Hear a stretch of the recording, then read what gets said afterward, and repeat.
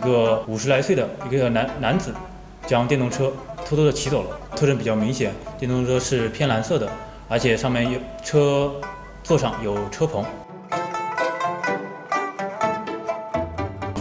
这个车，嗯，这个，你们装是假的，是的，是的，是偷的，钥匙呢？没有，钥匙现在。